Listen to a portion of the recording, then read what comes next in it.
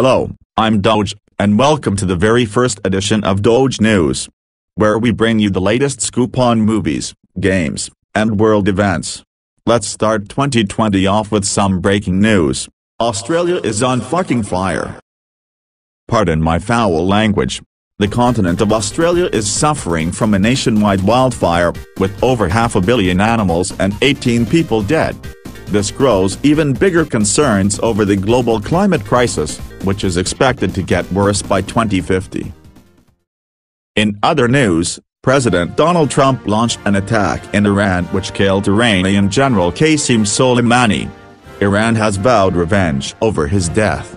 Many people in the United States fear that this may cause World War III, but fear not, it doesn't seem that likely. Remember, this is the third time that people were freaking out about World War III under Trump. In lighter news, 2020 is expected to be packed with incredible video games. Arriving this January is Dragon Ball Z Kakarot, and Kingdom Hearts 3 Re Mind.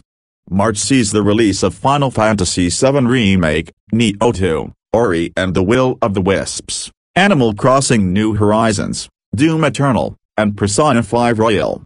I didn't even mention the release of the most highly anticipated game of the year, Cyberpunk 2077, which is expected to be released on April 16.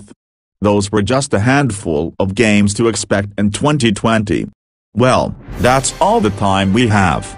Tune in next time for another edition of Doge News. See you soon.